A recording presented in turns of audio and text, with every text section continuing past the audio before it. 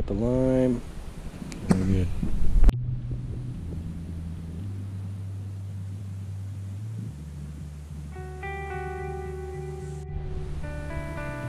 So there's a trail that starts here and goes up over there, and there's a pond or a lake On the top there.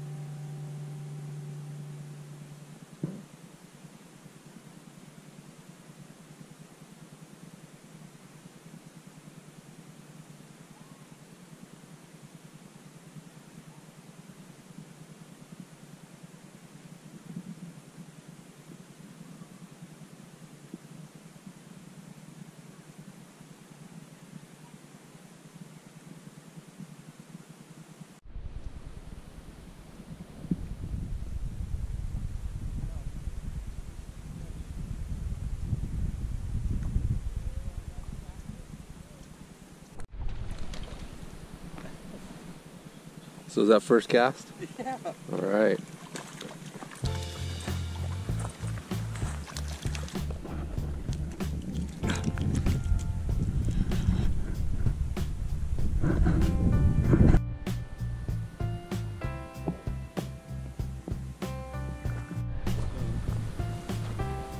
Now you know how they know the wind,